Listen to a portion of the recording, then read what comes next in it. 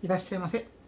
えーダンディセカンドハウスへようこそ。バーテンダーのじゅんです、えー今日も早速カクテルを作っていきたいと思います。よろしくお願いいたします、えー今日はね何を作ろうかなと思ってたんですけれども、えー今日はちょっともともと作ろうかなと思ってたカクテルがいくつかあったんですけども、えー完全にあの果物を買ったのを忘れまして、はい、持ってくるのをですね。なのでちょっとあの作れなくなっちゃいましたので急遽別のカクテルを作りたいと思います。そう急に作ろうと思っても作れるカクテルなんてねいくらでもあるわけですよ。迷いましたけど。はい。で、えー、と今日はね何を作るかと言いますと,、えー、と一番最初に作ったカクテルが、えーあります。あのこの動画を始めるときにですね、えーフレンチコネクションというカクテルを作ったんですけれども、えーこちらのカクテルの、まあ、派生で、えー派生でできるタイプ。要はちょっと材料を変えるだけってやつですね、えー派生タイプのカクテルを作りたいと思います、えー今回何気に初めて使うジャンルのお酒があります。はい、えーメインで使うお酒はウイスキーですね。はい。えー、とウイスキーを使って、えそれに合わせていくカクテルは、えフレンチコネクションというカクテルを作った時にも使いました、えアマレットリキュールを使います、はい、あの甘いあんずの香りのするお酒ですね、はい。えこの2つを使って、えードファーザーというカクテルを作っていきたいと思います、はい、ちょっとねあの例の映画のタイトルですね。まあ、どうもそこから取られてるっていうふうにもね聞いてますけども、えーぜひぜひあの甘いんですけどもやっぱりマフィアの映画っていうだけあってゴッドファーザーですからガツンとくるアルコールも感じ取れるようなカクテルになってるんじゃないかなと思います。甘さの中に強さがあるっていう感じですね、えーぜひぜひ、えー興味がある方は作っていただけたらと思いますので、えーご覧になっていただけたらと思いますそれでは早速、えーカクテルを作っていきたいと思います。今日もよろしくお願いいたします。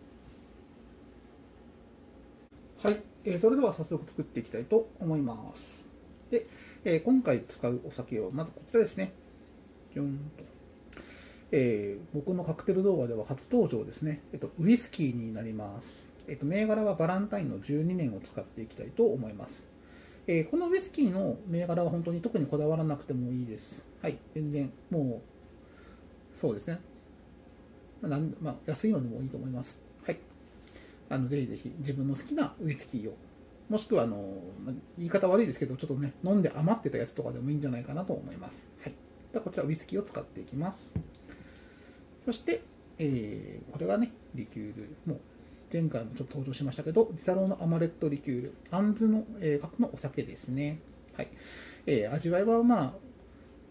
まあ、人によっては違いますって言うんですけど、まあ、僕の中ではあのあんずのお酒なんであの杏仁豆腐の香りというか味わいのするお酒だと思っていただけたら想像しやすいんじゃないかなと思います、はい、こちらを使っていきたいと思います。はい。では、えっと、こちら今回使うグラスはロックグラスになります、はい、でこちらを使って、えー作っていきたいと思います。では早速、えーまず作っていきたいと思うんですけどもまず氷を入れていきたいと思います。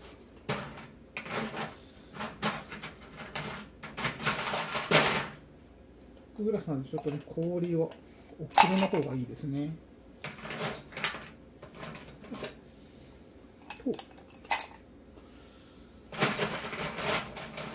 で構度数が強いので氷は多めにしていきたいと思いますね。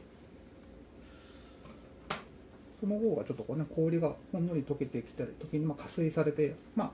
まろやかというか、まあ、味わいがね優しくなりますんでね、はい、ではまずウイスキーを、えーと実は本当にフレンチコネクションの時と作り方というか分量は全く同じです。本当にあのフレンチコネクションのブランデーがウイスキーに変わっただけだと思ってください、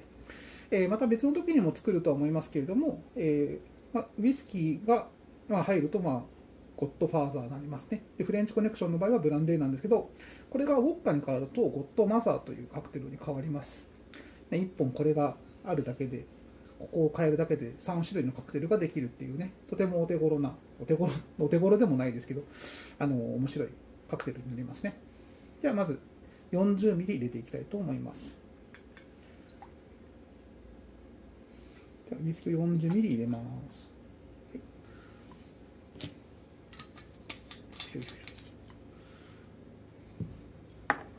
そしてアマレットリキュール。よいしょ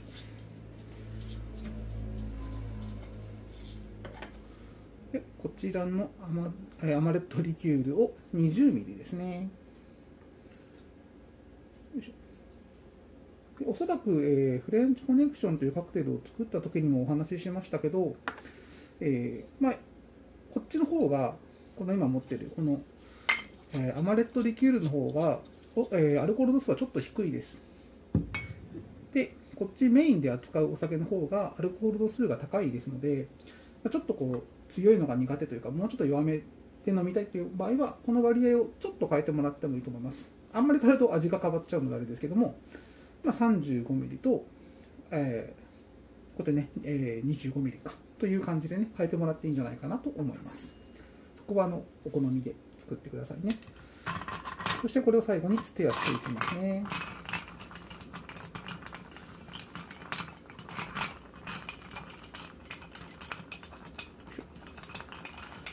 はい、これでちゃんと混ざったら完成ですね。ちょっとね、大人な色合いと、ね、感じと、あと名前もね、とてもかっこいい名前ですので、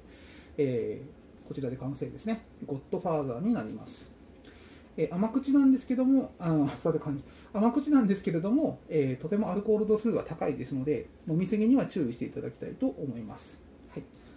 えーまあ、いずれはね、これでもう一つ、えー、ゴッドマーザーもね、そのうち作っていけ、ゴッドマザーですね、ゴッドマザーも作っていけたらと思いますので、それはまた、えー、いつかね、機会には作りたいと思います。今日はこちらゴッドファーザーでぜひぜひ、